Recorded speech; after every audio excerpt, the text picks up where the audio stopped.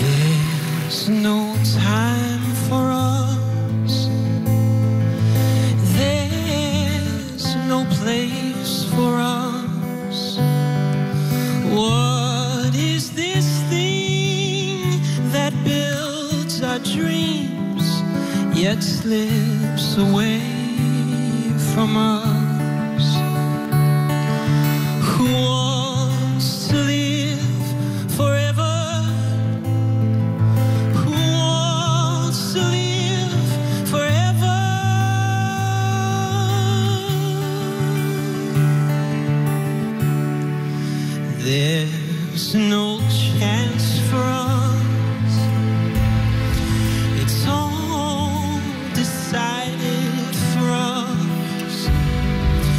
This world has only one sweet moment. Set aside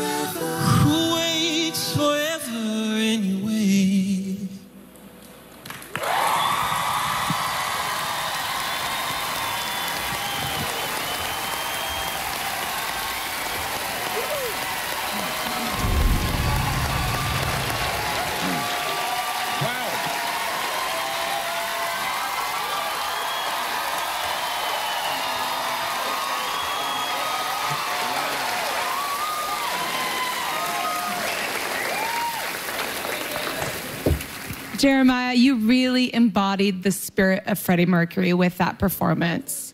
I think um, it was like you froze time. It was it was so beautiful, and um, it was so beautiful seeing you perform in front of your parents for the first time. And it's so wonderful to see your journey, to hear about it, and to see your parents, you know, really come out here and support you and accept you and know it's a come as you are situation. So God bless all three of you. God bless. Um, yet, you, Jeremiah, you just continue to spoil us. I mean, we're so.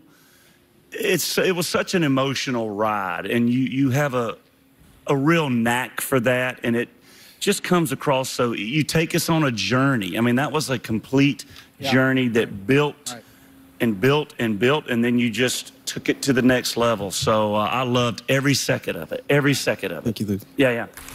Hey, yeah. There's um, there's something you can't there's something you can't teach. It's just called the ability to draw people in, the dynamics of your voice. You've got a band that sounds like that much power coming behind you, and you take the band to the next level. Right. That means you're really doing something powerful. Your voice is something to be reckoned with. I'm telling you, man, I'm very proud of you. Keep up the good work. And the best time to do it is in front of your parents. Great job. Mesmerizing to watch.